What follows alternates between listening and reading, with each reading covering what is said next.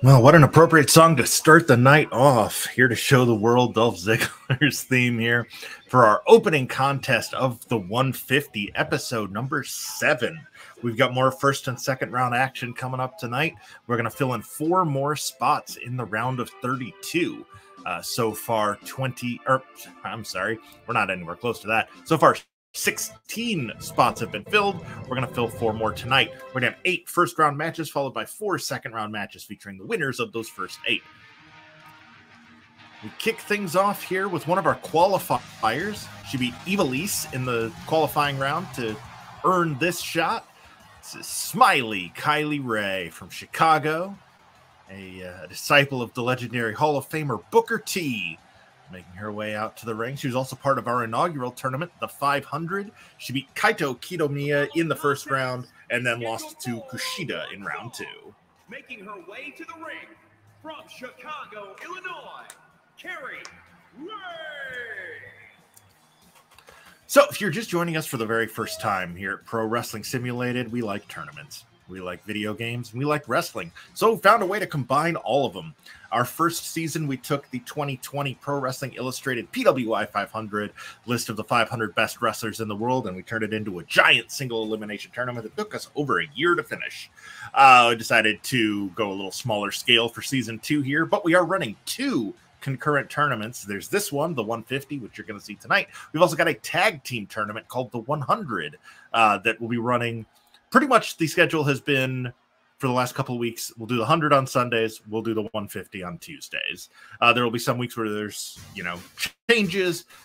Just check our uh, check our social media for the updated schedules. So Kylie's got a stiff climb ahead of her. As you can see, her opponent tonight. From Richmond, Virginia, the Impact World Women's Champion, Mickie James, the 24 year veteran, making her way down to the ring. She debuted when Kylie was just six years old.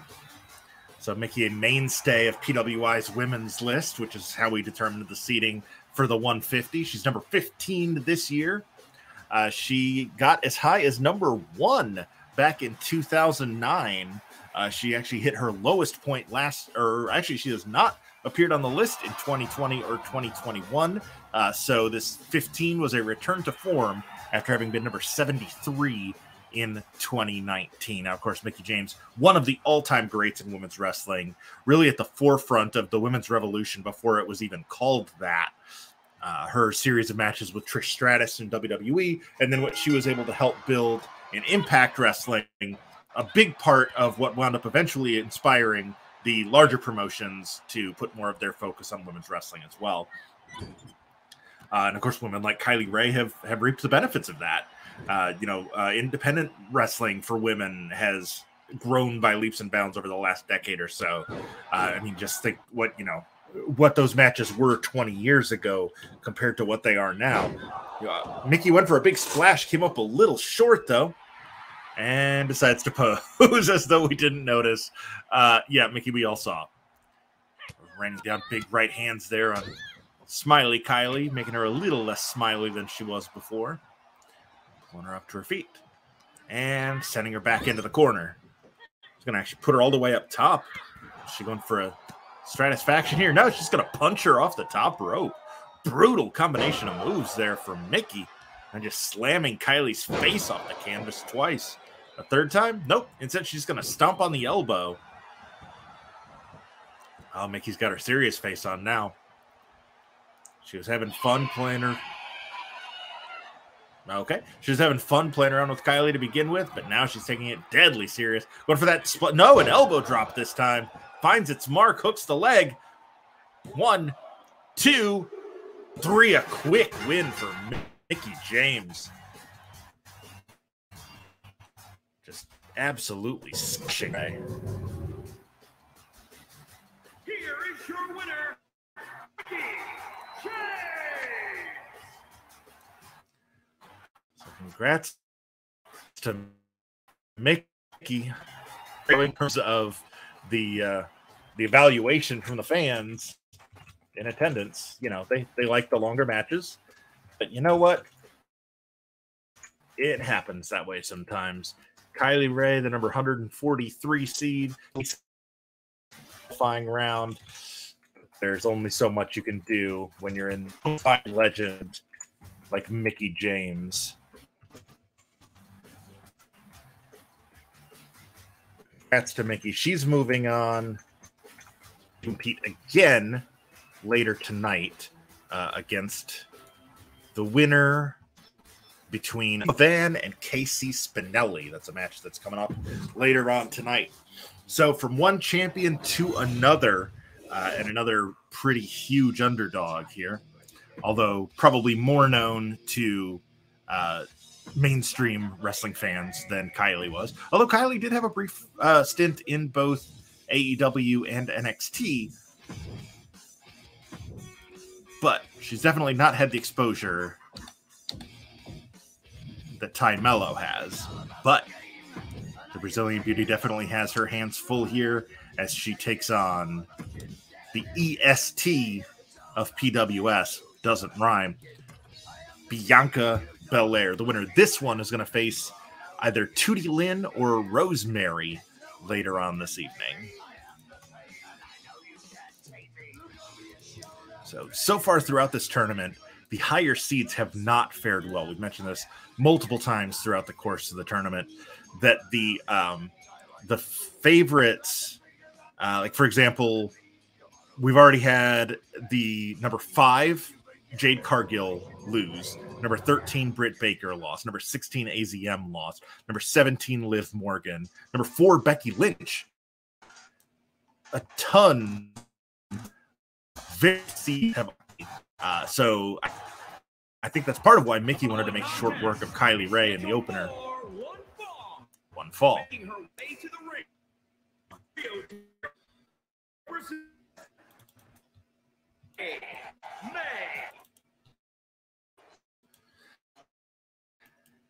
And so this is presenting all wrestling.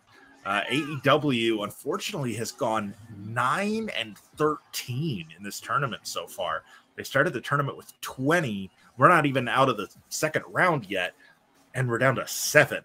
Uh, they have just really struggled throughout the course of this tournament. She did qualify for this match by beating Max the Impaler back in the qualifying round. But there, uh, as great as Max is, Ty definitely has her hands full with her opponent in this match. The number two overall seed in our tournament,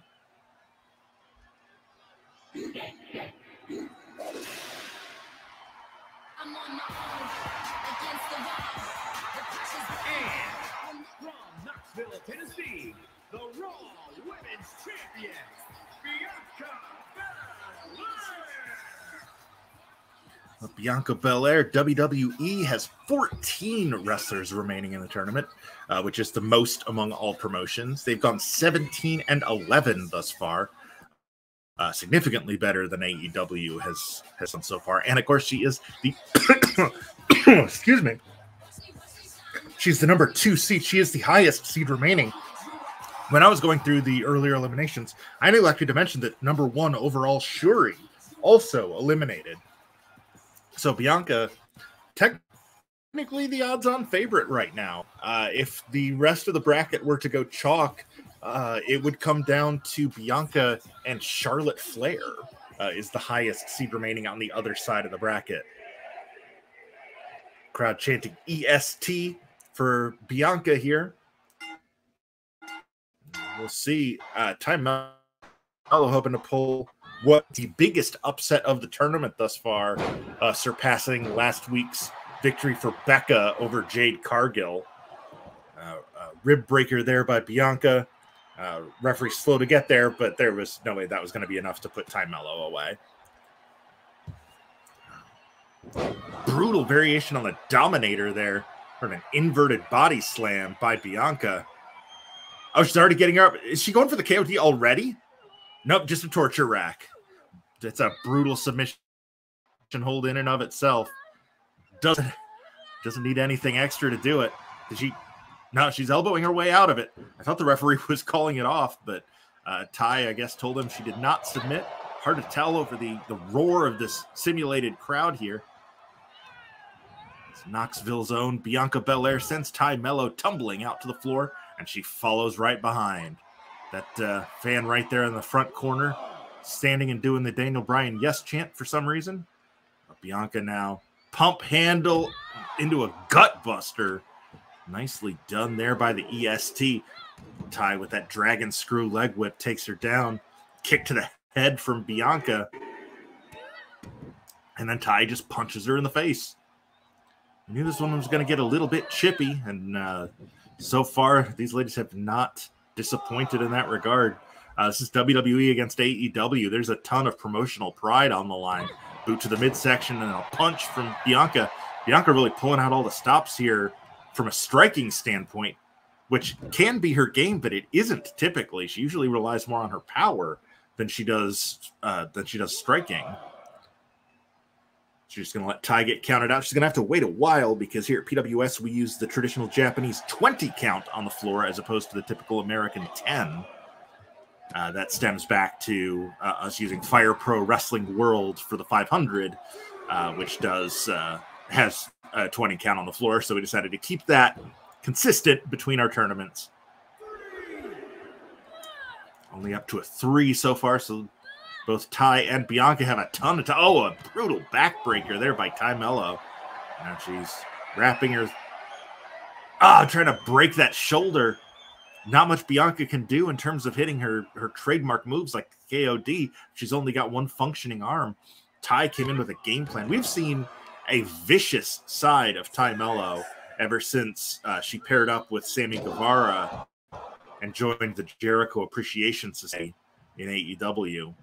There's a, a, mean streak that we never saw from the from the judoka in her her earlier days in AEW as well as in NXT. I always thought she had a ton of potential in NXT, but they just never really, had they never really had a spot for with there. She was trying to get air there, but also had Bayley so much depth on that roster that it's going to riot now. So so much depth last time that you know Ty, who was still relatively green at that point, uh, was just never. She was never going to get that kind of airtime. Two, two. Lag there. I hope that clears up here shortly. Uh, the two of them have a combined 11 years. So these these two ladies have probably at least a decade ahead of them each. And uh, Bianca is probably already a first ballot Hall of Famer, but the longer her career goes on, the more and more she builds her legend. Being the legend earlier, Bianca could theoretically go down as the best of all time. Tay going to the middle turnbuckle, signaling for Bianca to get to her feet. Oh, nice lucha arm drag off the middle turnbuckle. And now strikes from Tay. This is more her game than it is Bianca's. Snap side suplex there.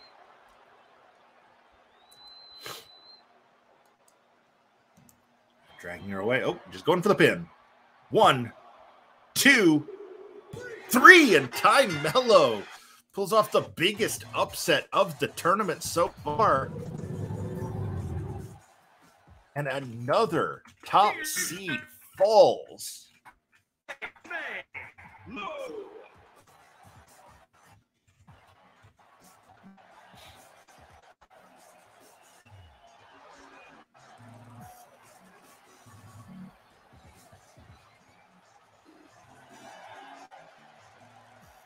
was that, two and a half or three?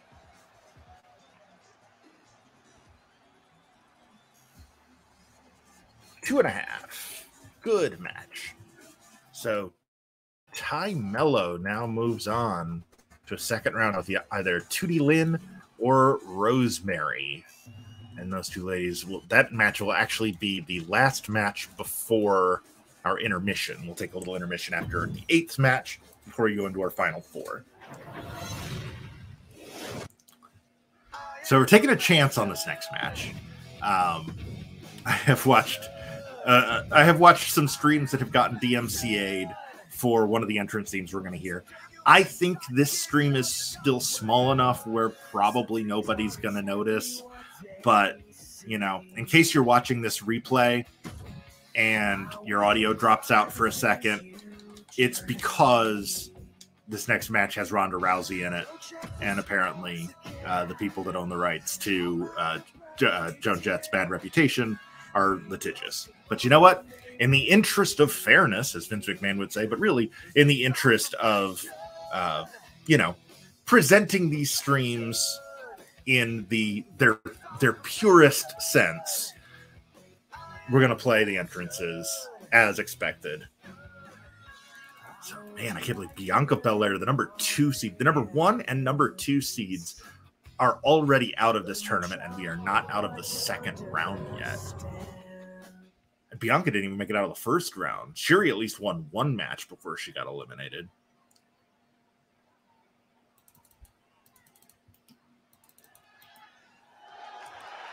Here the following comes. contest is scheduled for one fall. One fall. Making her way to the ring from London, England, the European Underground Prestigious Champion, Alex the Falcon.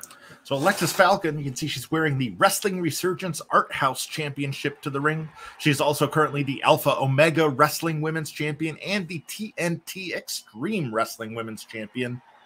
Uh, sort of a, a, legend on the English uh, independent scene over the last half decade or so.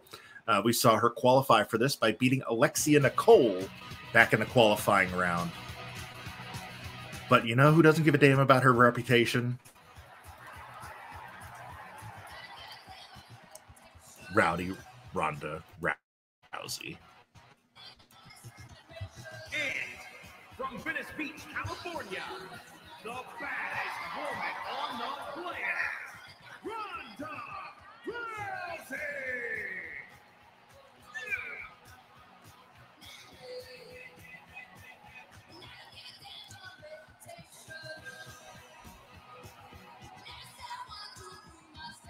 I love this song.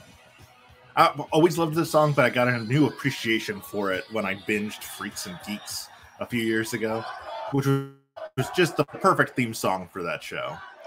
We got a Ronda Rousey chant here. The baddest woman on the planet in there with the Iron Queen, and Ronda just picks her up and slams her down, showing off that MMA background stomping on the shoulder.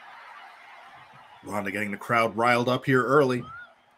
Right into the cross arm breaker. This one may be over quick. Part of it is Ronda's the 18th seed. She doesn't want to fall like the other high seeds have so far.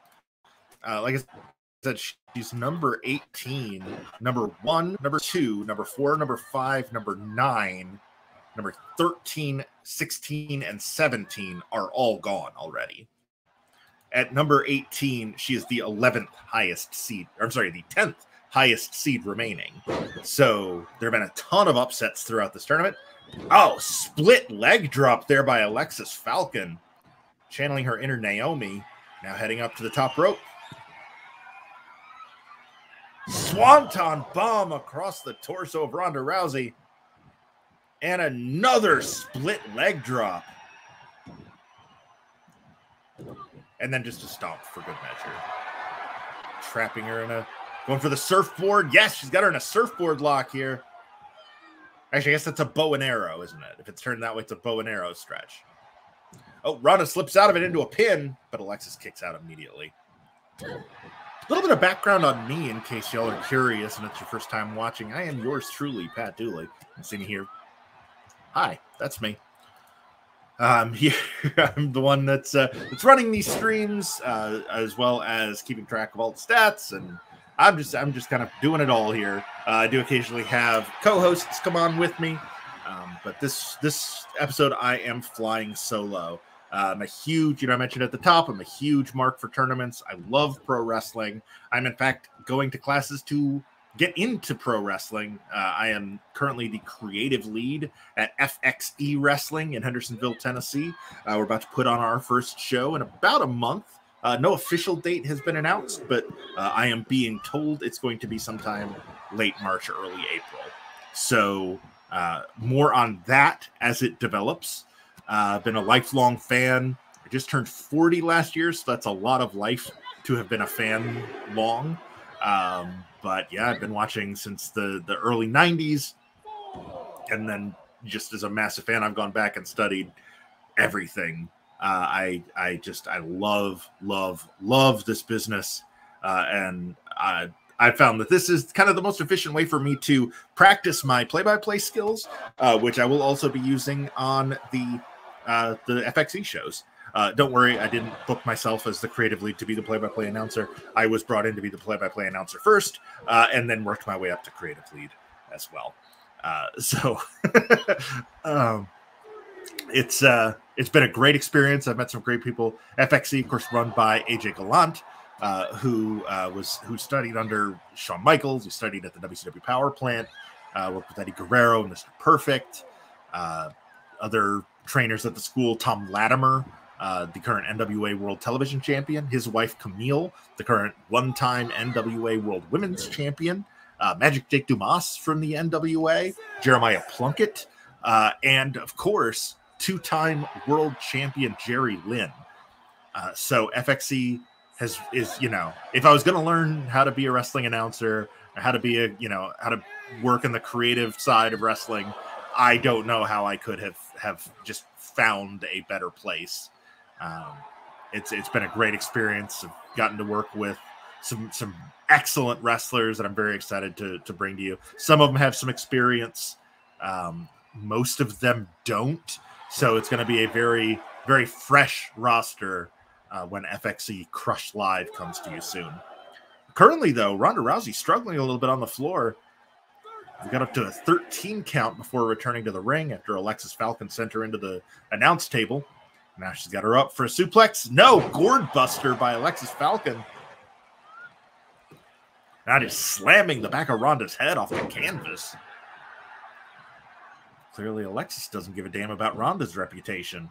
Now with the neck scissor and then just driving an elbow into the side of her face. Waiting for her to get to her feet. Oh, rolling DDT. It's sort of a modified Sister Abigail, too. Ronda kicks out. Very close there. We got a women's wrestling chant now from the audience. Oh, Ronda with a big forearm. Oh, single arm DDT. Letting Alexxis get up to her feet. The hip toss into the arm bar. That's going to be it. That's gotta be it. There's no way. Ale- oh, Alexxis manages to get a foot under the ropes. Referee calls for a break. Ronda goes for the pin. One, two, and Alexxis Falcon kicks out. Ronda cannot believe it. Dragging her away from the ropes. Not sure what she's going for now. Pulls her to her feet. Oh, big judo throw takeover by Falcon, but Ronda just leg whips her down that dragon screw leg whip, pulling Falcon to her feet. She's got her up in a firewoman's carry. Oh, but Alexxis gets out of it into a diving reverse DDT. Alexxis Falcon giving the baddest woman on the planet everything she can handle. Now the firewoman's carry of her own. Backpack stunner. That's the move she used to pin Alexia Nicole in round one. One, two, Oh, Ronda barely kicks out. And I say round one. I'm at the qualifying round. This is round one. But still, in her first match, Alexxis Falcon used that same backpack stunner to win. And again, that Sister Abigail DDT variation. Two, three, and Alexxis Falcon pulls off the massive upset. The number 111 seed beating number 18 good night for the qualifiers so far as both Ty Melo and now Alexxis Falcon run.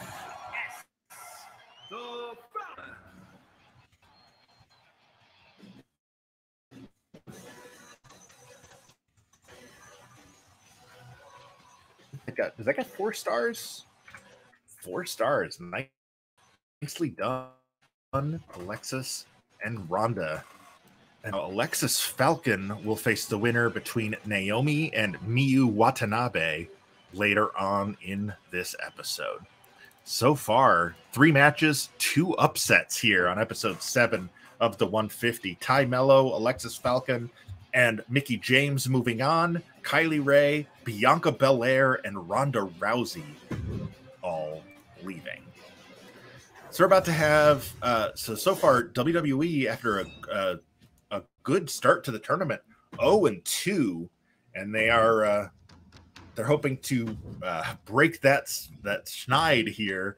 Uh, maybe it'll work out in their advantage because uh, their next wrestler is the underdog, and underdogs, as we mentioned, have done very well so far tonight and throughout the tournament.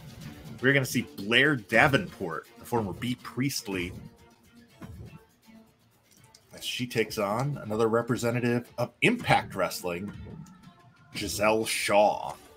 Now, Impact has actually gone, I believe, 3 and 0. Uh yeah, they were 2 and 0 coming in and then Mickie won.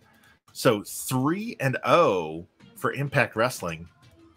Uh meanwhile, WWE started the tournament with 25 wrestlers and they are already down to 12. They've gone 17 13, including 0 and 2 tonight. So uh, hopefully Blair Davenport can end that streak, but also Gisele Shaw hoping to continue the streak for Impact. Impact has done incredibly well. But let's head down to ringside.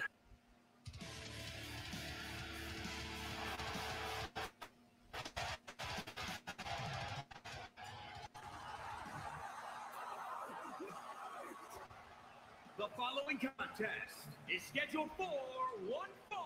One fall. Making her way to the ring from England, Blaze Dangerous. Blaze Dangerous. I like that. The top guy, Gene Blair Davenport, aka Bea Priestley, uh, was a huge star in World Wonder Ring stardom before coming over to the States. Uh, worked a couple of early AEW shows before signing with WWE. She was a, a staple of the NXT UK brand before that was uh, basically swallowed whole by NXT during the uh, the layoffs last year. Uh, and she's been a standout in NXT as well. She's one of the, I, I would say she's one of the best, you know, pound for pound technical, like just bell to bell wrestlers in women's wrestling right now.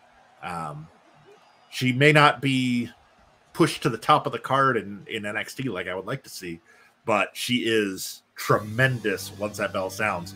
Not, uh, she's the, currently the number 98 seed in our tournament. So a huge underdog here against number 31, Gisele Shaw. But as we've seen throughout the course of this night, upsets happen.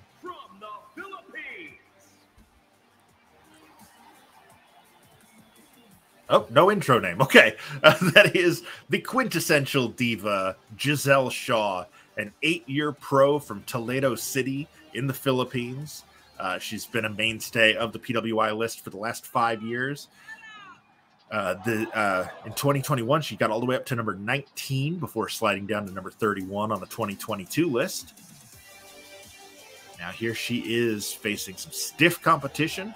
Both women five feet seven inches tall. Blair has about 11 pounds on Shaw. Blair trained but trained by kind of a who's who of uh, of British wrestling trainers back in her day: Travis Banks, Jacob Cross, Takade, Bruno Becker, uh, Taylor Adams, Misty, Charlie Roberts, Shane Sinclair, Gisele Shaw, one trainer, Lance Storm. Kick to the midsection there from Blair Davenport. And she is in control here early with that knee lift. And now just dropping right down into those mounted punches. Hooks the leg. One. Wow. That would have uh that would have been impressive if if Blair could have got the pin that early. But you know what? We oh now just stomping on the chest of Gisele Shaw. And then a kick to the face. Goes her back over. And run for a Oh, it's a figure four. She just got into it in an unorthodox way. Nicely done by Blair Davenport. Is working on the knees and the ankles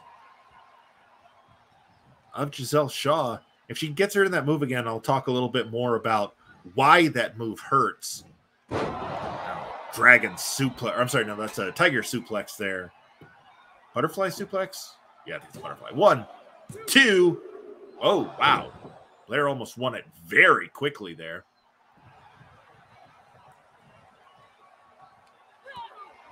Uh, so we are talking about titles earlier. Gisele Shaw is currently the Fierce Females Champion, as well as the Chem Valley Wrestling Women's Champion. For a backbreaker, nicely done. Gisele in firm control here. And the Mr. Perfect Snapmare. Now heading up to the top rope. What's she going for here? A big diving elbow, but Blair Davenport nowhere to be found. A running knee right to the face. Hooks the leg. One, two. Oh, that almost did it. We almost had another upset. Four matches, three upsets. So far, Mickie James winning our opener has been the only odds on favorite to win. C4, that standing solo Spanish fly by Gisele Shaw, and then a big kick. One, two, and Blair Davenport kicks out of the chick kick. That is one of Gisele Shaw's finishers. Blair Davenport just kicked out of it. Shaw went for another kick, but Davenport caught the leg Took her over with a dragon screw, went for those mounted punches, but Gisele rolled through into punches of her own. Kick blocked into another dragon screw. And now she's working the arm. I don't know what uh, Blair was doing. Oh, just chops to the chest. Big right hand. Davenport now, what's she doing? Oh, just with the, the Rob Van Dam uh, split leg drop, raining down punches. Oh, but Gisele kicks her in the face to get out of it. Fujiwara armbar working on the shoulder. Blair can see the rope. You can see in her face, she can see the rope, but she is not quite close enough to reach it to break the hold. Gisele Shaw just lets her up, though. A little surprised. I think if she had held on to that, she might have gotten the submission. Oh, big overhand chop. And a release German suplex. This has been a hard hitting affair. We we knew it would be, but uh, it has it has definitely exceeded those expectations even. And Shaw hooks the leg. One, two. Oh, Blair kicks out. Shaw took too much time capitalizing on that German suplex. Took too long to get into the pin. There's that rolling snapmare again. The head and neck of Blair Davenport have just been have just been decimated throughout this match. Clearly, Blair setting up for one of her trademark kicks, either the chick kick or eat defeat. By God, stunner! Davenport rolls her over, hooks the leg. One, two, Oh, and Gisele Shaw kicks out of the stunner. Sure she's going for here. She's going back up to the top rope. Oh, but Shaw rolls away. Smart strategy by Gisele Shaw, and she catches up to her, and Rocket launches her into the middle of the ring. Oh, she's going for that C4 again, but Blair fights her way out of it. Go behind big German suplex, but they wind up in the ropes.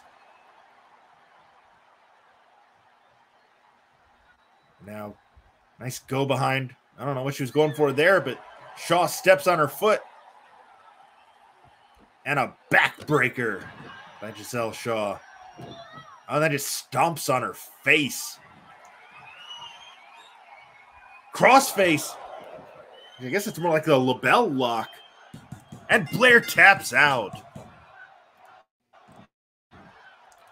And WWE falls to 0 and 3 on this episode. While Impact is 4 and 0 since this tournament began.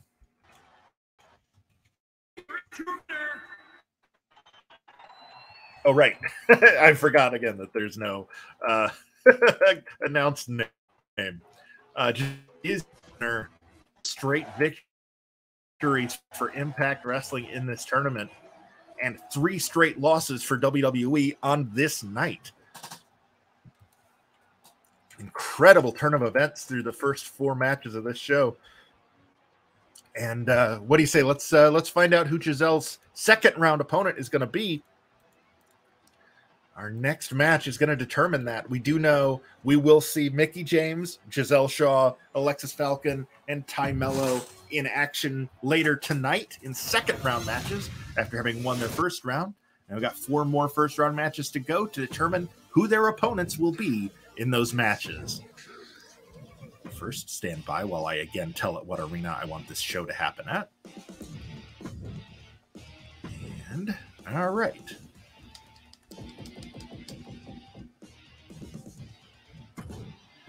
It's going to be Laynie Luck, the number 95 seed, against one of my edits. So I do apologize in advance.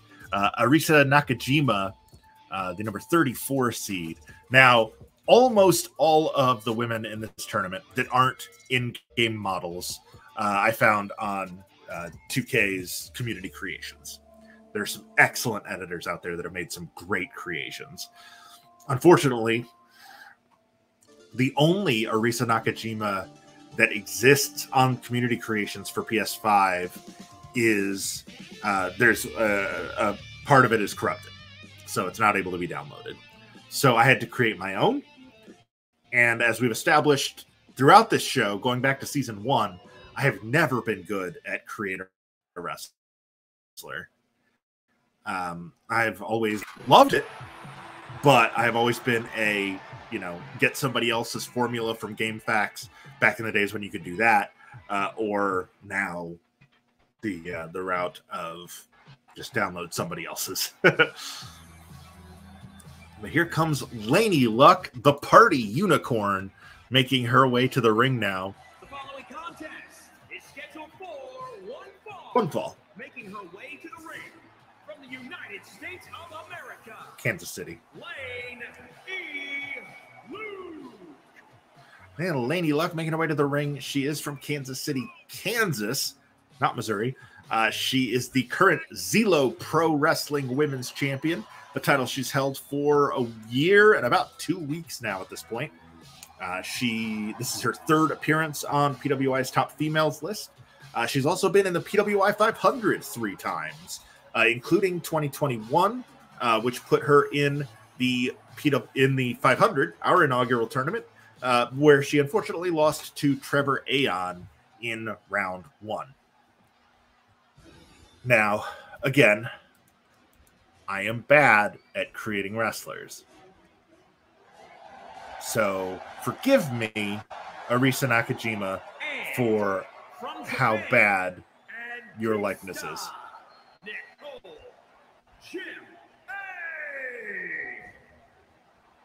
Also, I'm not positive I did an entrance for her. I think I may have just made the character model.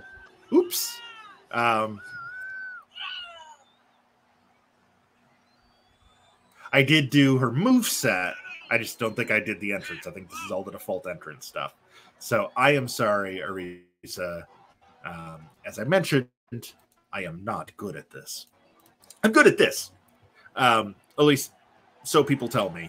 Um, I'm pretty good at commentary, but uh, creating wrestlers in video games has never been a strong suit of mine.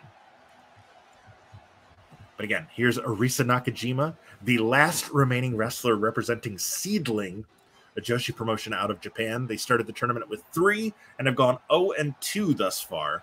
But this is the SEAdLINNNG Beyond the Sea champion, a title that she's held for two months today. Uh, she's trained by Sachi Abe. She's from Chichibu, Saitama, Japan. She's preparing to go one on one here with Kansas City's Laynie Luck, Party Unicorn. And there's the bell. Oh, Nakajima's going for a big overhand right, and instead Laynie hits her with the wow. Okay, Starts off with a code breaker, then into a, an eagle head scissor. And elbow drop, or uh, sorry, a knee drop to the inside of the elbow of Nakajima, and then just a running kick to the spine. Up to the top rope she goes. What's she going for? Moonsault press, but Nakajima gets her knees up. Yeah, Nakajima going for a Northern Lights suplex. And a knee to the face. Brutal combination there from Arisa Nakajima. And she has immediately turned this thing around. Luck got off to a hot start. Since Nakajima got those knees up on the moonsault attempt, it has been all Nakajima. Fisherman Buster. Oh, and a big back kick there by Laynie Luck, getting a little momentum back into a release German suplex. She's got the leg. DDT's the ankle into the mat, hooks the leg. One, two. Oh, but Nakajima is able to kick out. Crowd thought that was too sweet. Ah, kick to the spine there from Laynie. Quebrada. And Nakajima is able to slightly roll out of the way, and she comes up empty. Laynie doing the hurricane pose there for some reason. Oh, series of strikes now from Laynie Luck. Nakajima able to block it, now firing off strikes of her own, including that discus forearm. Now go behind half and half suplex. She calls that the DXD. Actually, it's probably just the DD, right? They don't pronounce the X and things like that. Hooks the leg. One, two, three, and that does it. Back to back wins by the odds on favorite here. Trying to get things back on track. Here is your winner and star, Nicole Jim A. quick win there for Arisa Nakajima, but she knows that Gisele Shaw awaits later on tonight. And a two star finish there. Nakajima uh, will face too many tabs open, running too many other things while these matches are going on because I try to keep track of everything in real time. Uh, but yes, Arisa Nakajima and Gisele Shaw will be happening. Uh, I believe that's probably going to wind up being our main event. Uh, yeah, it does look that way. Um, I will tell you for sure the rundown as we know the remaining matches going forward. The arena again, and now WWE again has gone 0 and 3 tonight, and their next representative is not particularly interested in making WWE look that good. It's Naomi, uh, who, despite everything that's happened over the last year or so, is still, oops, still technically under contract to WWE. So she will be representing WWE in this match against Tokyo Joshi Pro's Miu Watanabe. Now, Tokyo Joshi Pro has done very well throughout this tournament. Eight wins, only two losses. There are six uh, TJPW wrestlers remaining. Uh, meanwhile, again, as I mentioned, Naomi so far WWE has gone 0 and 3, which means she is now one of only 11 WWE wrestlers remaining. They're in Edmonton, Alberta, Canada.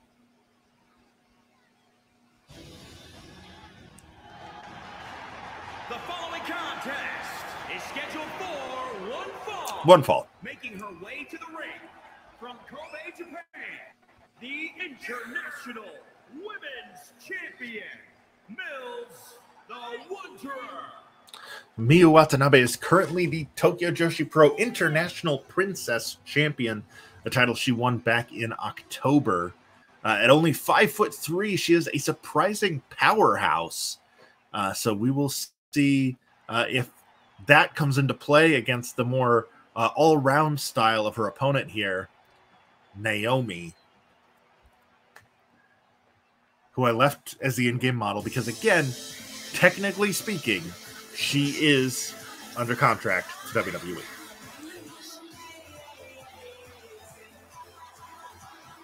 The winner of this match will face Alexxis Falcon later tonight.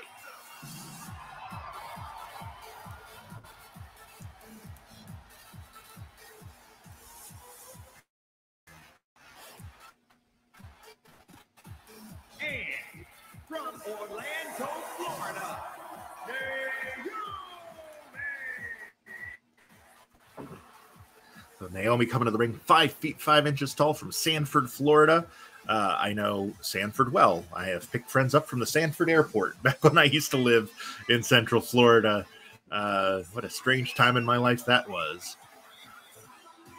But as a result, I got to watch Naomi back in her Naomi Knight days in Florida Championship Wrestling uh, before FCW became NXT and before she became a member of the Bloodline, uh, marrying into the Uso family.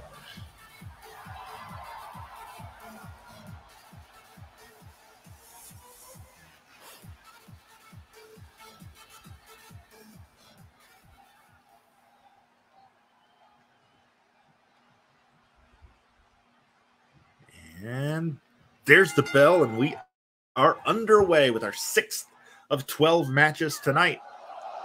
So far through the first five, we've had three chalk wins, two upsets, and we have also seen WWE struggle to get out of the gates 0 and 3 tonight. Naomi hoping to end that streak against Miu Watanabe from Tokyo Joshi Pro, a promotion that has done very well in this tournament thus far, though this is their first match of the night. Fujiwara armbar there from Watanabe. Shot to the midsection, then a big right hand release German suplex by Miu. And then dropping a knee. Oh, and a knee lift. And then uh, sort of a variation on the hammer lock there. Oh, just driving the shoulder and elbow of Naomi into the mat. Naomi is the odds on favorite here at number 47 against Watanabe's 82. Watanabe only a five year pro. Naomi's got 13 years pro. Of course, she burst onto the scene in WWE as one of Brodus Clay's Funkadactyls back in the day. Um, of course, then went on to a, a great in ring career as a competitor. Uh, won the women's tag team titles at WrestleMania last year alongside Sasha Banks. Um, and actually, the team of Naomi and Sasha, who now calls herself Mercedes Moné, as she's no longer in WWE, uh, that team will be part of the 100 uh, as they were listed as one of PWI's top 100 tag teams in the world last year. Uh, so we will see them coming on an upcoming episode of the 100. And actually, uh, I did finally go through and figure out um, the upcoming shows. Uh, more on that later. Um, but let me see if I can find specifically what episode they'll be on. Uh, they will be on episode seven of the hundred, which will be happening on. It's currently scheduled for March 21st, so three weeks from tonight. Mercedes Moné and Naomi will take on the team of HARASHIMA and Naomi Yoshimura uh, of Disaster Box. So yeah, so the hundred was originally also going to be a 2K tournament, but because PWI included men's and women's and mixed teams in the tournament, uh, 2K does not allow you to do men versus women in any form. You can do mixed tags where it's a man and a woman against a man and a woman, but only the men can fight the men, only the women can fight the women. Which is not exactly great, but I figured, you know, if it had to come down to that, that's fine. But when you have teams made up entirely of women taking on teams made up entirely of men in the bracket as it's set up, there's just no way to do it in 2K. It wouldn't allow you. So, uh, as you saw Sunday night on the last episode of the 100, uh, we switched over to Fire Pro Wrestling World for PS4, which works fine, except tag matches in that game take a very long time. We did a 12 match show, which is pretty typical for us, and it took three and a half hours. Uh, whereas typically one of these streams, for example, uh, this is our our sixth of 12 matches, and we're less than an hour in. We will probably be done. It'll probably be about an hour 45 by the time this episode is all said and done. Sunday's episode was twice that. Uh, now, tag matches in video games always take longer, but even in uh, in 2K, through two episodes of doing just 2K, um, excuse me, excuse me, for 12 match shows, we were still averaging about 245. Um, so it's an hour longer than our, our women's match uh, shows were, but uh, you know, a good 40 minutes shorter than Fire Pro was. So going forward in the 100, we're going to do only when we have shows that require men versus women, we're going to have only 10 matches on those shows and 14 on the 2K shows. So the 2K shows are going to get a little longer. Uh, if I did my math right, they're probably closer to like 305. Uh, but it's going to bring those fire pros to like 250 as opposed to five. So it's basically taking about minutes off of Fire Pro's runtime and adding about 25 to 2K. Now that's super nerdy and it probably only matters to me, but full transparency. Miu going for the pin here. One, two. Naomi able to kick out. Uh, so if you're wondering why uh, going forward we're not all in the, the women's tournament is going to stay exactly the same. It's all going to be in 2K. Um, but if you wonder, uh, you know, in the coming weeks why some of the tag matches are happening on one show and not on others, and why on some episodes we have fewer second round matches than we have on other shows, that's why. Um, because base nice diving reverse DDT there by Watanabe. Um, we will do two uh, rounds when it's possible. So, like for example, on this Sunday's episode, uh, uh, just like I said, as an example, we're gonna have. Uh, shoot, here we go. Okay, uh, the Usos, the number one overall seed. Hold on, pinfall attempt here by Watanabe, and we've got our third upset of the night, and WWE falls to 0 and 4.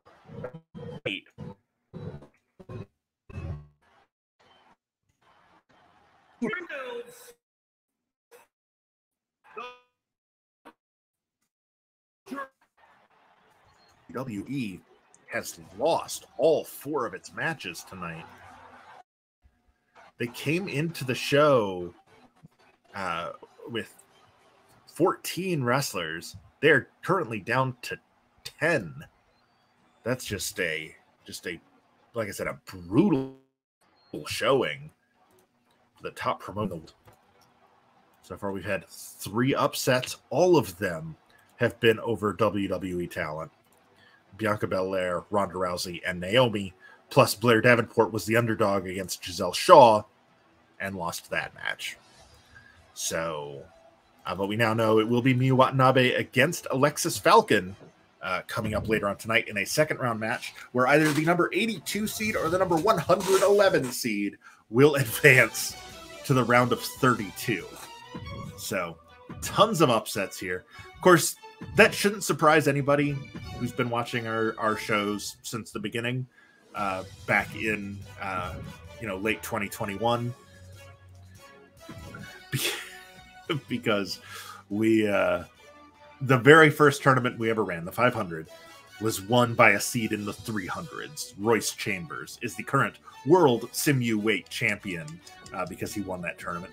He will be defending the title uh, at our biggest show ever coming up WrestleMania weekend.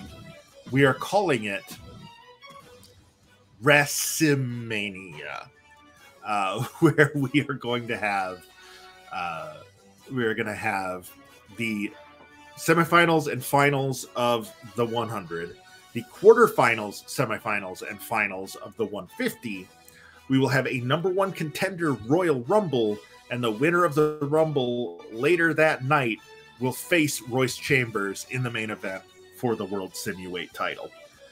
So we will crown the first ever World Simulate Tag Champions and the first ever World Simuladies Champion, as well as have Royce Chambers' first defense of the World Simuweight title. Us, we're in the Philippines now for this match. Uh, bummer for Gisele Shaw that she didn't get to have this match in Manila, you know, in front of her, her home country. The following contest is scheduled for one fall. One fall. Making her way to the ring from Toronto, Ontario, Canada, Casey Spivey.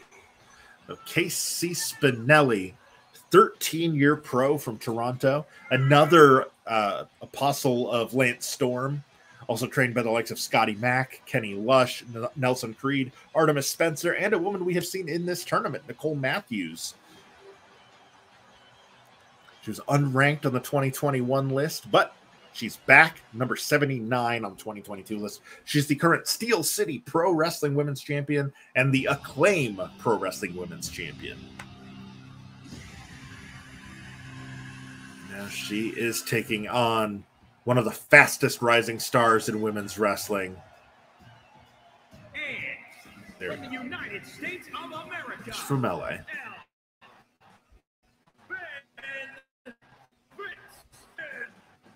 The Hell Bent Vixen, Viva Van, five year pro. She is already the big time wrestling women's champion, the PCW Ultra women's champion, and the future Stars of Wrestling women's champion. Mentioned she is from Los Angeles. She this was her first ever rating on a PWI list, and she debuted at number 50. I don't know what the song is, but I kind of dig it. She has appeared a couple times in AEW, uh, including challenging Mercedes Martinez for the Ring of Honor Women's title uh, back when Mercedes held that. Viva preparing to go one on one now here with KC Spinelli. Spinelli, as I mentioned, a 13 year pro. Viva Van only one year, or sorry, only five years as a pro. So significantly less experience for Viva.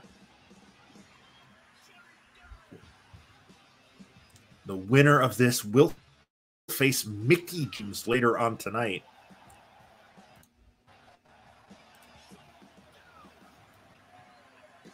Here we go. It is number 50 against number 79 for a shot at number 15. KC Spinelli, Viva Van. And here we go. There's the bell. Right into a Northern Light suplex by Viva Van. It's a kick to the face. Looks like she's going for something off the ropes. Changed her mind. Now going to the top turnbuckle. Went for double axe handle, but Spinelli ran under her, and she swings and misses as a result. Scoop. A big power slam there by Spinelli.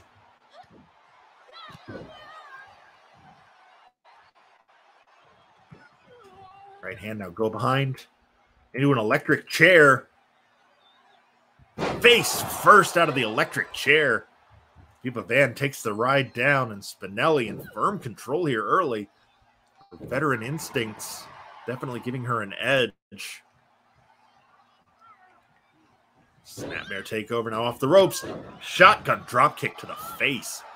Gorgeous move there by Spinelli, taking a little too much time taunting the crowd, though. That may come back and bite her. Now pulling Van up to her feet and then just throwing her away, just deals her, I think even by the hair. Hard to tell from this angle, though. Got her up in a firewoman's carry into a power bomb.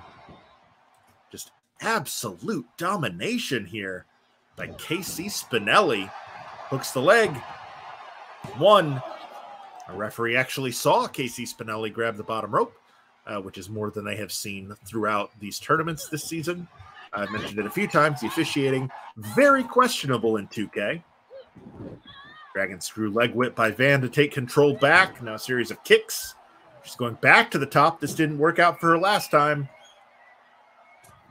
Big elbow drop. Shades of Kairi. That uh, insane elbow. And then just a couple of kicks to the downed opponent from Viva Van.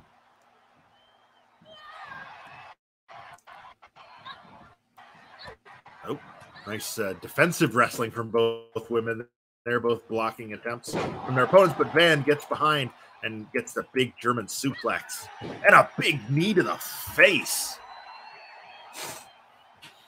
You call that the Vive trigger? Because I think I might.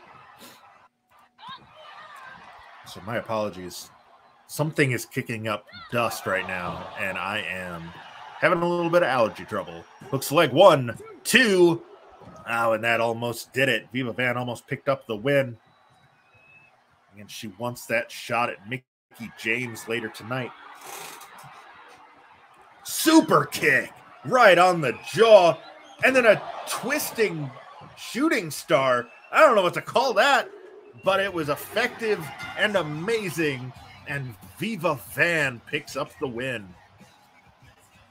Viva Van and Mickie James later tonight.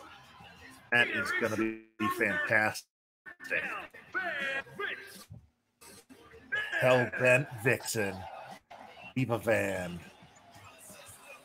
Beating number 79. KC Spinelli with a twisting shooting star press. I'm sure that has a name, uh, but unfortunately, I haven't seen a ton of Viva Van matches yet. I know, bad announcer, not doing research, but hey, I've got a day job. I'm going to wrestling class three nights a week. Uh, by the way, check out The Academy, which is our YouTube show, comes out every Sunday afternoon, uh, one o'clock Eastern, noon Central Time. Uh, but uh, yeah, so I don't have a ton of time to watch much wrestling anymore, which is kind of ironic considering I am about to get paid to write wrestling. Uh, so, um, and also, I should probably know the independent scene. I know a lot about it. Here, I, I don't know why I'm trying to justify this. I'm just self conscious about it, I think. Speaking of streamers, which nobody was, but I was in my head. Rosemary uh, is an acquaintance of one of the uh, the people over at Dub Three, uh, which if you're not following Andrew Everett's uh, online promotion that he does using Fire Pro, you are really missing out.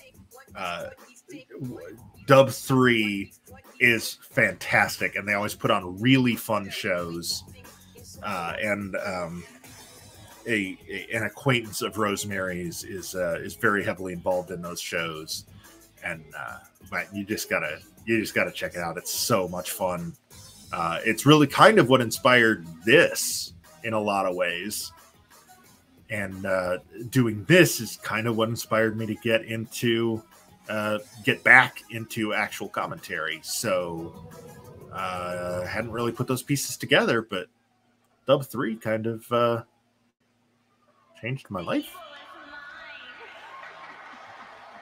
Here we go. This is our last match before the intermission. We're going to find out who is going to face Tay Melo later on. Out first. One fall. Making way to the ring. The other side of Darkness. The assassin. The demon assassin Rosemary. 15 years of pro after being trained by some of the best trainers in Canada Johnny Devine, Scott D'Amore, and Tyson Dux.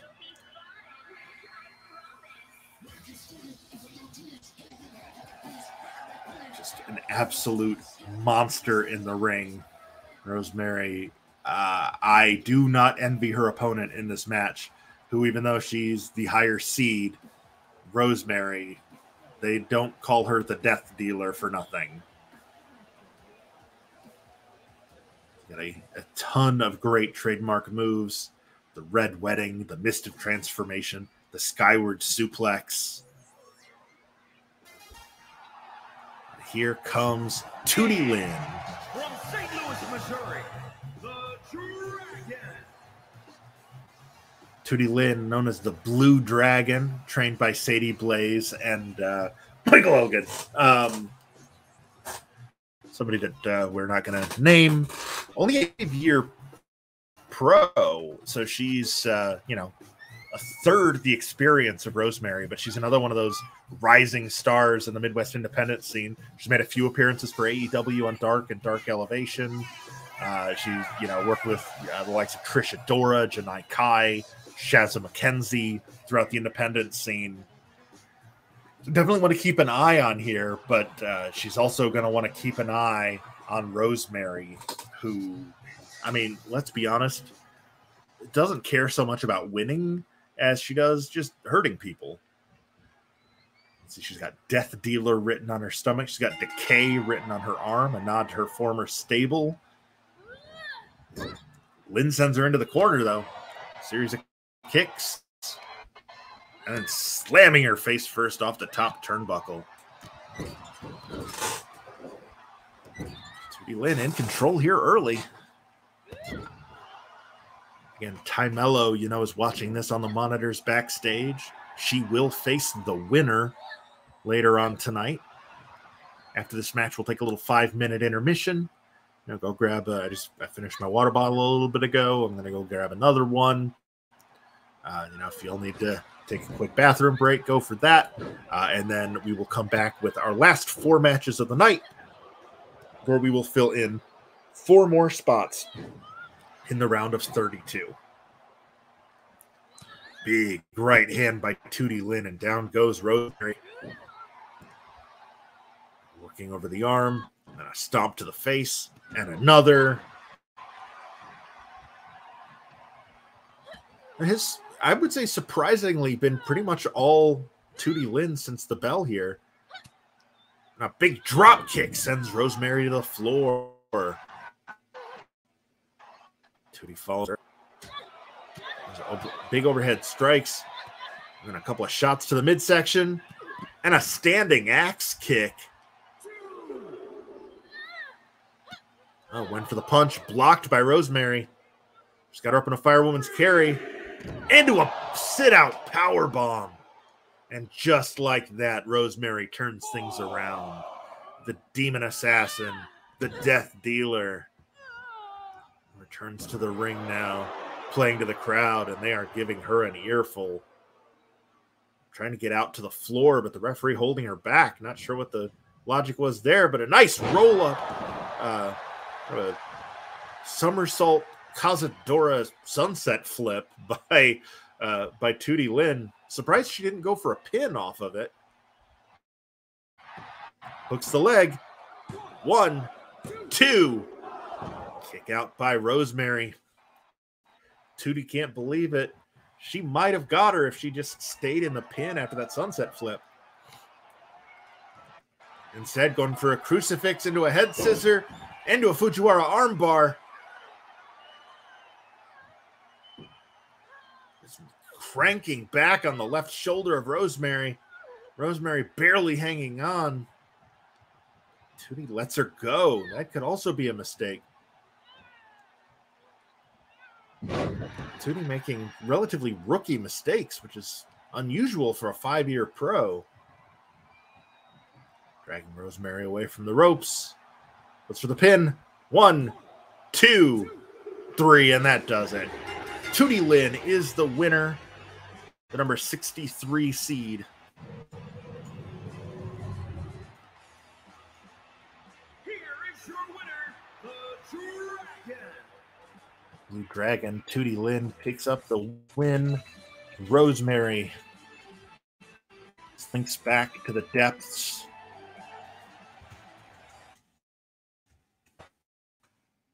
Match a pinfall after an armbar, and neither of them involved Ronda Rousey.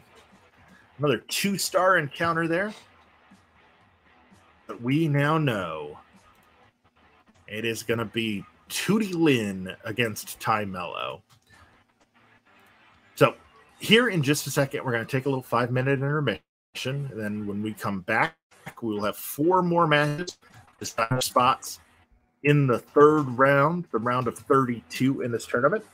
Uh, when we come back, it is going to be Miu Watanabe against Alexxis Falcon, Tootie Lynn, who we just see right there, against Tay Melo, Mickie James against Viva Van, and our main event will pit the number 31 seed Gisele Shaw against number 34 Arisa Nakajima. Don't go anywhere. We'll be back in five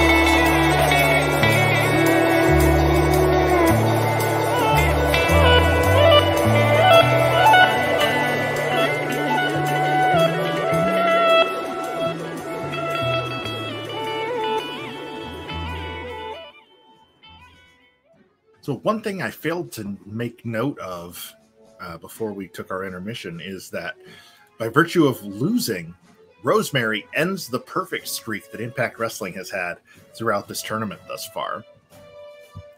So that's uh, that's got to be a little bit disappointing for Impact, but a great showing from Rosemary, just coming up a little short against the higher seed uh, against Tootie Lynn. So so far we have only had three upsets tonight. Very unusual for how this tournament has gone so far. Um, all three of the uh, the losses, though, have been WWE superstars. Uh, Bianca Belair, Ronda Rousey, and Naomi. Uh, WWE, of course, has gone 0 for 4 on the night. This Blair Davenport also lost. One fall. One fall. Making her way to the ring from London, England, the European Underground prestigious champion, Alex S. The Falcon. So Alexxis Falcon, the number 111 seed earlier tonight, uh, put on the best match of the night when she upset Ronda Rousey uh, using that Sister Abigail DDT variation. Uh, just a, uh, a brutal finish after a, a pretty brutal match. You know, her arms have got to be bothering her because Ronda, you know, was definitely focusing on those throughout the course of the match. So we will see if Alexxis's opponent is going to turn her focus to those injured arms. And from Kobe, Japan, the International Women's Champion, Mills the Wonderer. Uh, Miu Watanabe. It is a it's a champion versus champion match here, though is Falcon come out with the Wrestling Resurgence Art House Championship. As I mentioned earlier, she is also currently the Alpha Omega Wrestling Women's Champion and the TNT Extreme Wrestling Women's Champion. And she's in there with this woman right here. You can see that belt. That is the Tokyo Joshi Pro International Princess Championship uh, title she has held since October. We will see who picks up the win here uh, as uh, Miu Watanabe upset Naomi earlier. I mentioned one of the four losses for WWE tonight. Not a good showing, but because Rosemary lost that last match against Tootie Lynn, WWE still has the most wrestlers remaining in the tournament with 10. Impact slips down to nine, Rosemary's loss, after having gone undefeated uh, thus far throughout the tournament. We're 4 and 0 up to that point. A series of punches to the face by Falcon. And now she's just dancing a little jig, just doing a dance. Do, do, do, do, do, do, do, do, do, do, do, do, do, do, do, do, do, do, do. And then just chopping Miu Watanabe across the face. And then a, just a spinning face buster. And now raining more punches down. I don't know what happened to Alexxis Falcon backstage. One, two. She has come into this match with Miu Watanabe, a house of fire. Or is it a house of fire? Like a house that is aflame? I'm not sure. It's probably supposed to be a house of fire, right? It's just always pronounced like of fire. Well, no, I'm just confusing myself. Anyway, the winner of this match is going to face, uh, is going to move on to episode 12, where we will have uh, third round matches. Uh, she will, uh, third and fourth round matches, actually. The winner of this match will face the winner between Mickie James and Viva Van. Uh, that match is coming up later tonight. Uh, folks, we have three more matches after this one. We're filling in four more spots in the round of 32. Nice tiger suplex there by Watanabe. Only gets one, though. Uh, so, thus far, Layla Gray, JC Jane, Natalia, Jamie Hayter, Dana Brooke, Miranda Alizé, Charlotte Flair, uh, Savannah Evans, Serena Deeb, Shoko Nakajima, Jessica Troy, Utami Hayashishita, Becca, Maki Ito, Raquel Rodriguez, and Miyu Yamashita have all clinched spots in the round of 32. So that is 16. That's half of the field of 32. Uh, and over the course of this episode and the three that follow, uh, we will fill in the rest of those spots. One, two, three. And once again, Miu Watanabe picks up the win. Pinfall. Winner.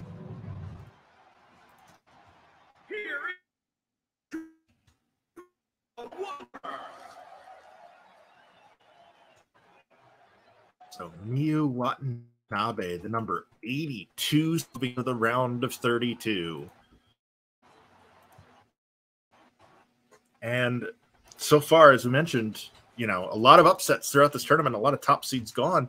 But conversely, only Becca among the 16 women that have qualified, or 17 women that have qualified at this point, um, had to win a qualifying match. So far, all of the qualifiers, including Alexxis Falcon just now, except for Becca, lost in either the first or second round and will not be competing in the round of 32. So we will see Miu Watanabe, what, uh, sorry, Miu Watanabe again on episode 12 of this show. She has clinched a spot in the round of 32. Uh, and 2K has crashed. Because that happens. I think that's the third or fourth time that's happened this season. 2K22 just the 2K games always crash. Not always. It's only happened three or four times this season. But I don't think I've ever had Fire Pro crash on me. I've had it kind of stall where I had to like exit out and relaunch it. That's happened maybe three times in the like three years I've had it. Um, but 2K does it a lot. Or it'll lose connection to the servers or, you know, whatever. Uh, so anyway, so that match uh, that I was talking about uh, with Miu Watanabe, that is tentatively scheduled to happen on March 21st, three weeks from tonight. All right, so I've got 2K back. There we go, as we're listening to uh, Elias's entrance.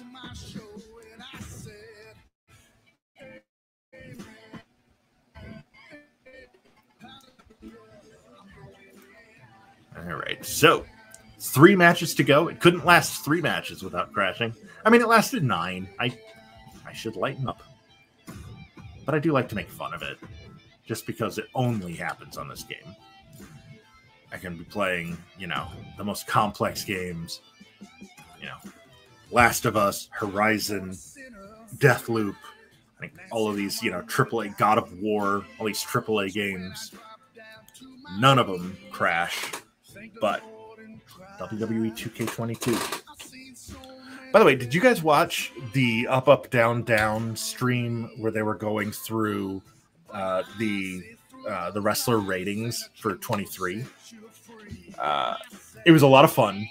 Uh, they had Xavier Woods host it with uh, Biggie, Tyler Breeze, um, Bayley, and uh, Dakota Kai. Just it was a very fun show uh, and the guy that does uh, uh, "This Is Awesome" on Peacock, whose name escapes me at the moment. I apologize. Um, but so they've turned it into kind of a game show where they were it was like kind of prices writing the the ratings of, of one fall. Making her way to the ring from Rio de Janeiro, Brazil, Day May Lou. So Tay Melo making her way to the ring after uh, picking up a victory earlier. The biggest upset of the tournament thus far when she beat Bianca Belair to qualify for the second round here.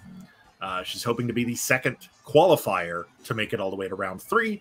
Um, but like I was saying, definitely check out that stream on Up, Up, Down, Down because uh, throughout the course of the show, it became pretty clear that they agreed with almost none of the ratings uh, they were, you know, clearly, you know, they were being diplomatic, uh, like you do.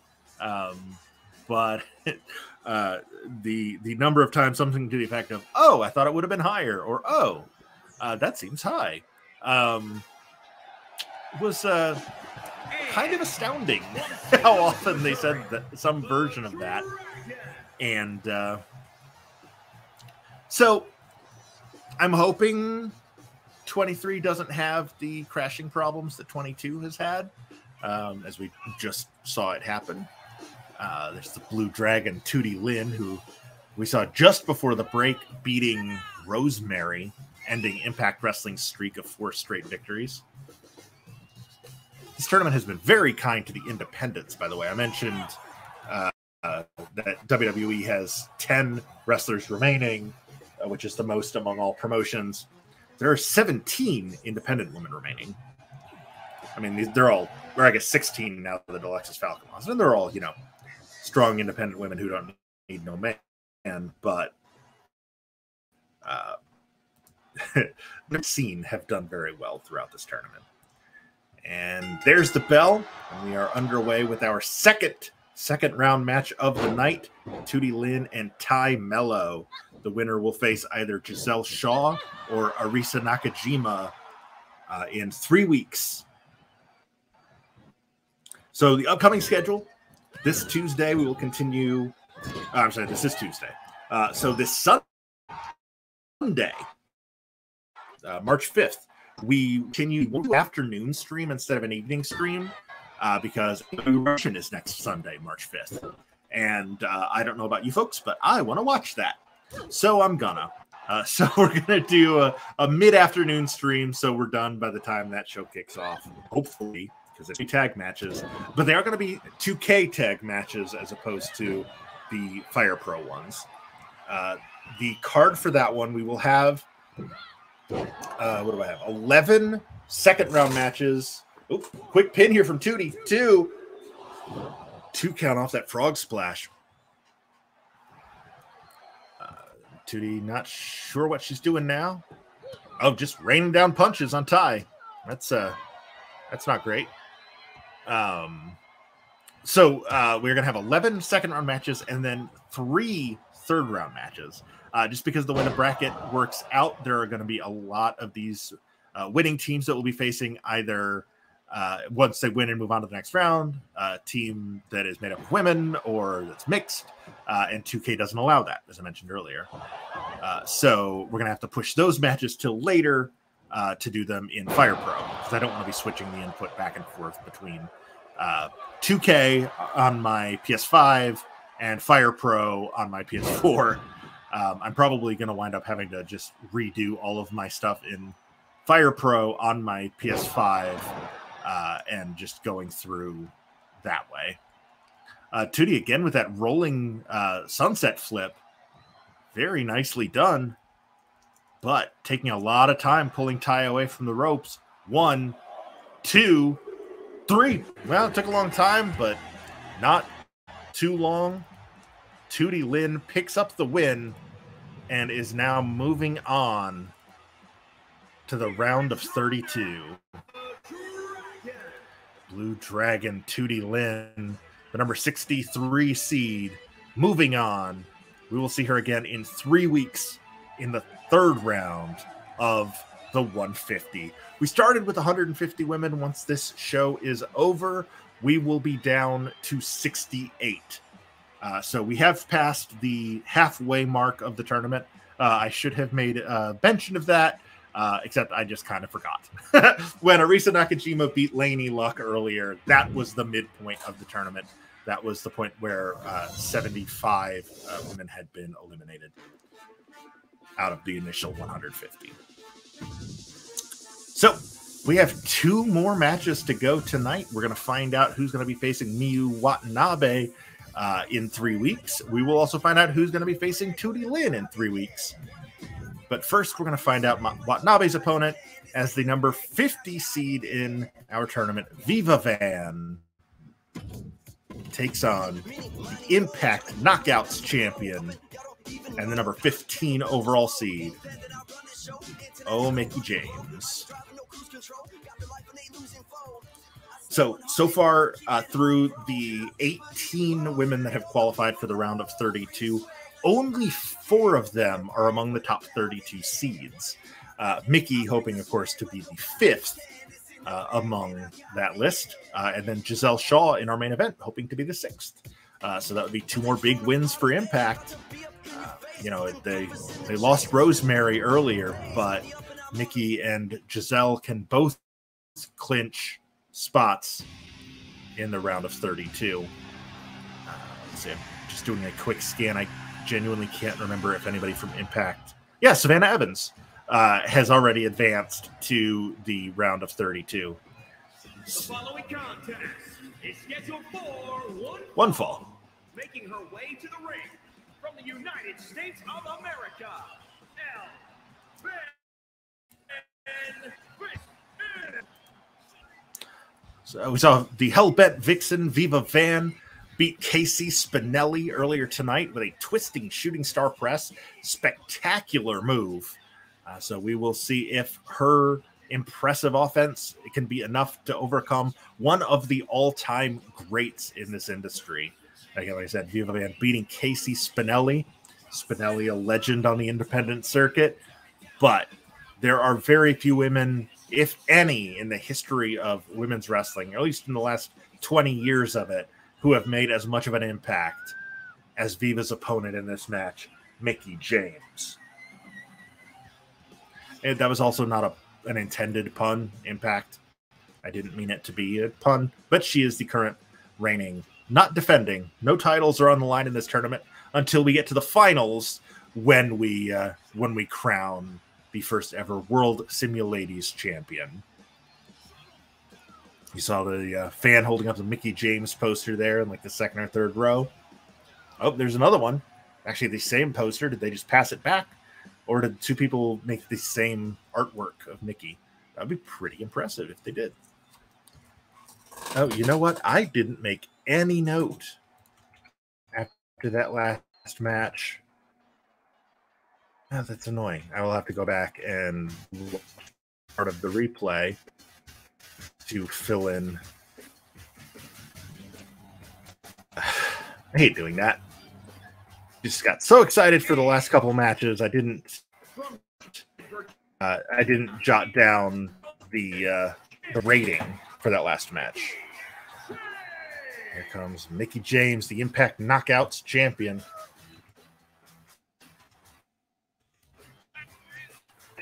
That rolling sunset bomb, but I did not catch rating.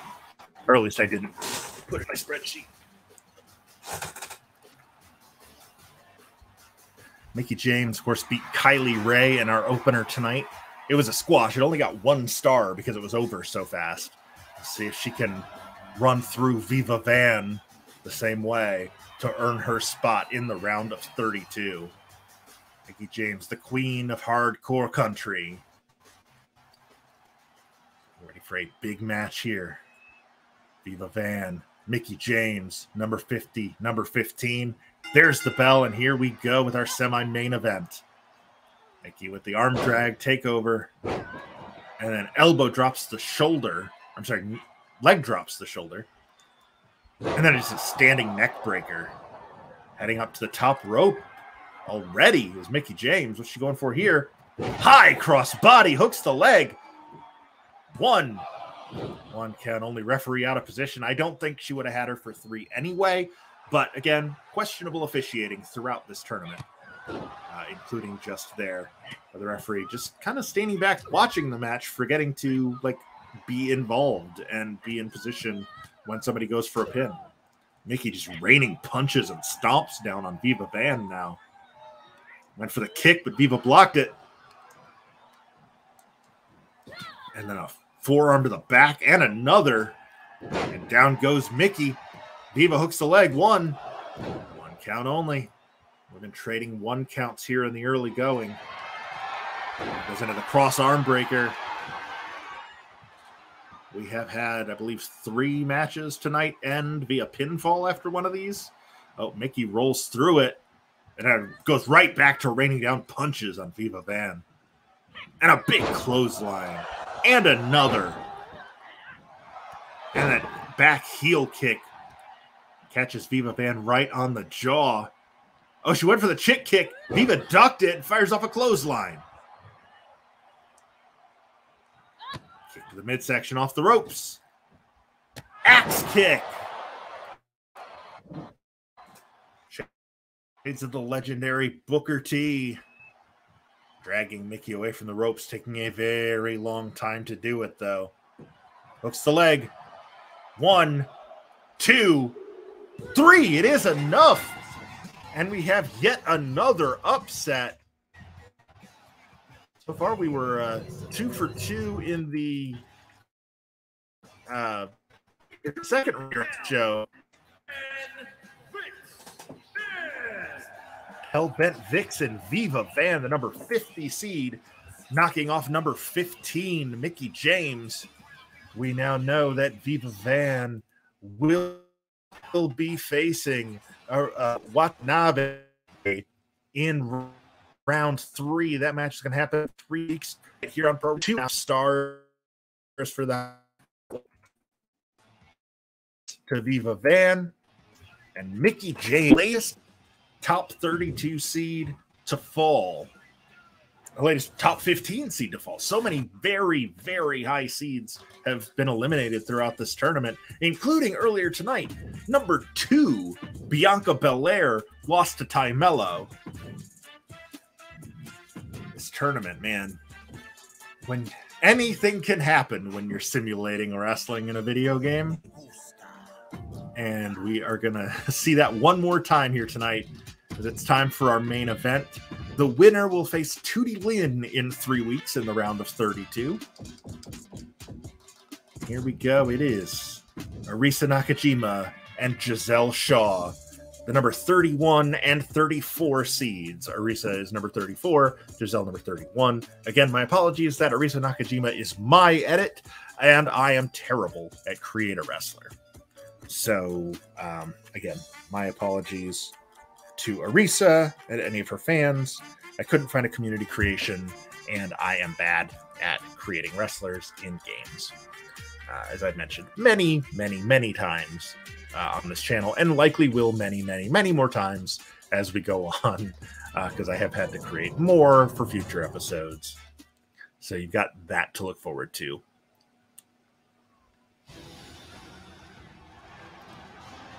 Nakajima is going to be out first here. The last remaining wrestler from SEAdLINNNG.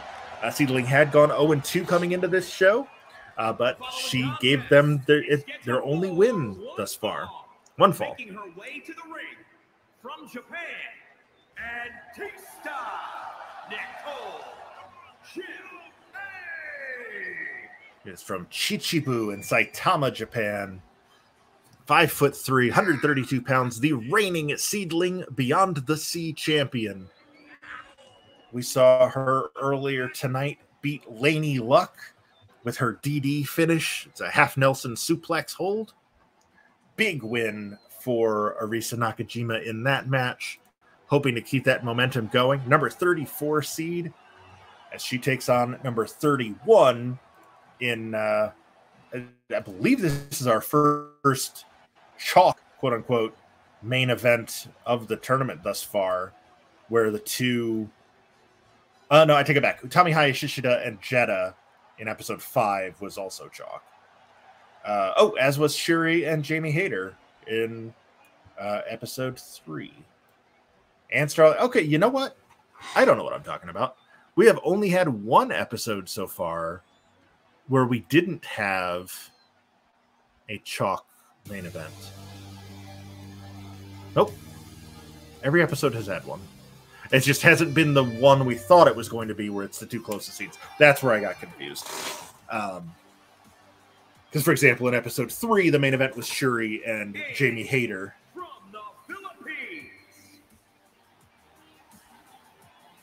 Right, Gisele Shaw doesn't have an entrance name. She's making her way to the ring now. Uh, episode three, the main event should have been Princess Sugehit against uh, Hyan. Uh, they both lost in the first round. Um, ditto for uh, episode four, where it should have been, I think, Alex Windsor and Suzu Suzuki. No, it should have been Toni Storm and Miranda Alizé. Um, but again, both women lost. So, but anyway, I'm sorry, not Miranda Alizé. Uh, You know what? I'm just talking myself in circles here. I'm going to focus on this match. Our main event was Gisele Shaw just came to the ring. The quintessential diva, five foot, 730 pounds. They're about the same weight, but Shaw is four inches taller. But Nakajima taking the early advantage here. Now going into oh, just a hanging dragon sleeper. Trying to choke out Gisele Shaw. Again, the referee just kind of letting it happen because why not? Nakajima hooks the leg. One, two. Oh, wow. Very nearly got the win right away. Gisele kicks out, charges in, float over DDT. Rolls her over, hooks the leg. One, no, not even a one count. Arisa Nakajima kicked out before one. A big right hand from Shaw takes Nakajima back down. And now, snapmare suplex. Sort of a cravat suplex there by Gisele Shaw. She is the number 31 seed. She whoever wins this match will be the highest seed to come out of this episode. 31 and 34 uh, are Shaw and Nakajima, respectively. Uh, the two highest seeds in this episode have all fallen by the wayside. Actually, the top three highest seeds in this episode have all fallen. Bianca Belair, Mickie James, and Ronda Rousey have all lost tonight. And Nakajima pulls Shaw out of the corner with a variation on a power bomb. And now she takes a second to soak in the adulation of the crowd. Now heading up to the top rope. What's she going for here? Big leg drop. Guillotine leg drop. Hooks the leg. One, two. Two count only, says the referee. Nakajima to go behind. Oh, she was going for the DD, but uh, Shaw rolls out of it into another float over DDT. Boy, Nakajima to her feet. C4 right on the logo. Gorgeous move by Gisele Shaw. One, two, and kicked out. Nakajima barely hanging in there. Oh, Shaw looked like she, she was going for the chip kick, but Nakajima sidestepped it. Oh, and there's that follow away slam into the pinfall. It's the cutie special, and that does it. Arisa Nakajima, the number 34 seed, is moving on. No one from the top 32 seeds survives this episode.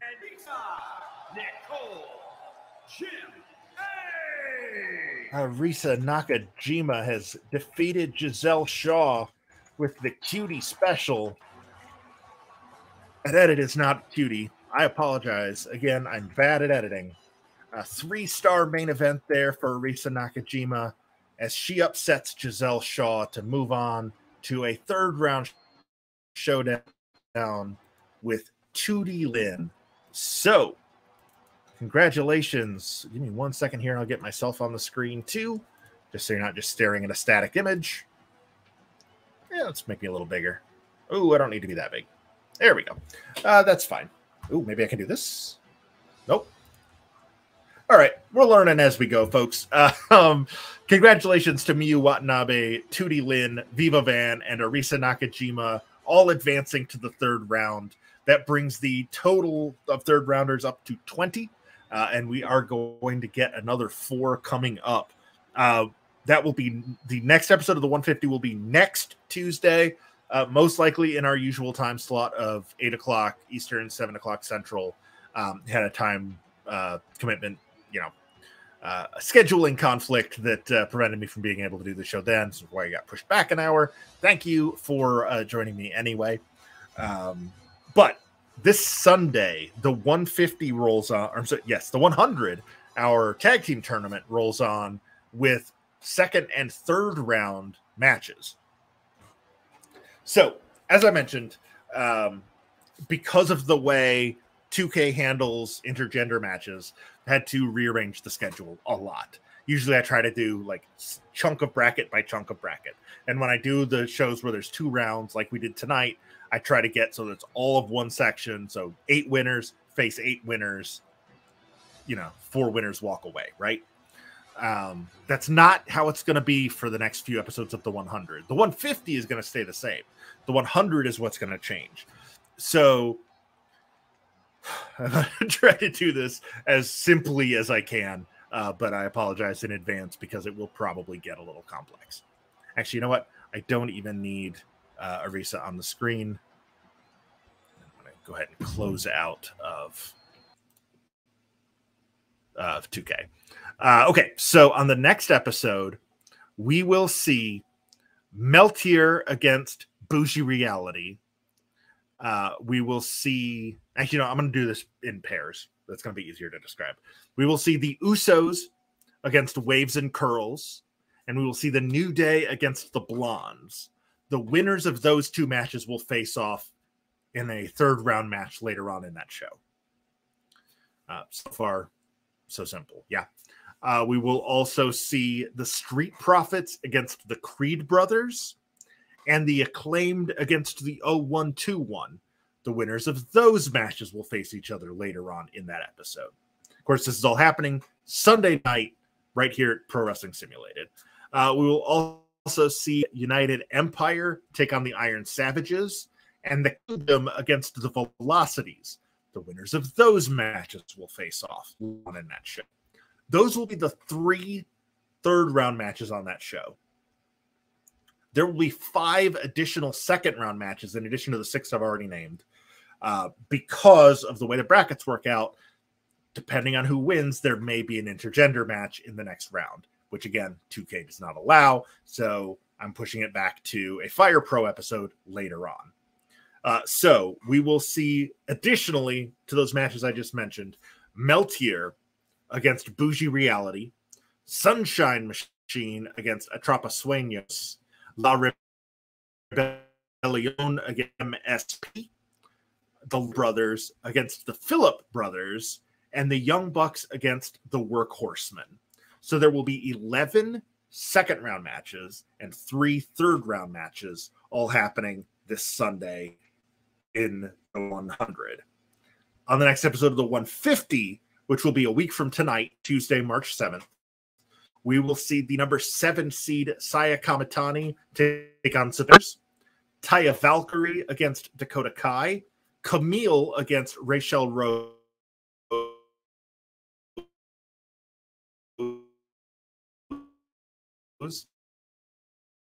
Uh, Camille is a friend of mine. Her own match. Am I back? Yeah. Uh, I think it would be cool if she called her own match. Uh, I'm going to ask her about it uh, this week and see if I can get her on next Tuesday. Uh, Mercedes Moné will take on Anna Jay. Momo Watanabe against Marti Belle. Rhea Ripley against Saori Anou. Natsupoi against Jordan Blade. And Holidead will take on Hikari Noa. And then the winners of those eight matches will face off in four second round matches much like we've seen for the last few weeks here on the 150. The 150 remains unchanged in terms of it still being eight first round matches followed by four second round matches. It's only the tag team tournament, the 100, uh, that is being affected by uh, having to toggle between two different games. Um, hopefully, that will sort itself out in the coming weeks, uh, leading into WrestleMania, which is going to happen WrestleMania weekend. Uh, I don't have an exact date and time for that. It's probably going to be in the afternoon on Sunday. Um, but again, it's really going to depend on when FXE has its first show. Uh, if it winds up being Saturday, April 1st, uh, which I think we probably won't because I don't think we want our first show to compete against WrestleMania. Uh, um, but, you know, it's wrestling. Anything can happen.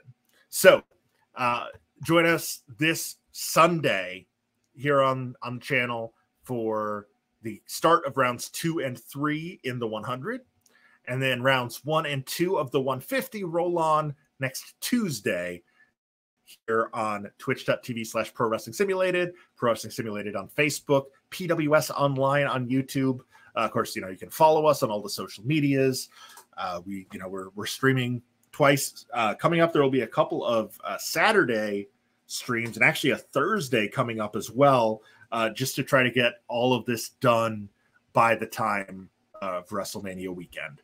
Um, because I, like I said, I want this tournament to end WrestleMania weekend. That just seems like an appropriate time for the the biggest simulated tag team tournament and the biggest simulated women's tournament of all time to conclude that weekend.